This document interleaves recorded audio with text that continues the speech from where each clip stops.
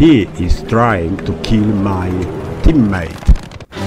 But this is not going to happen.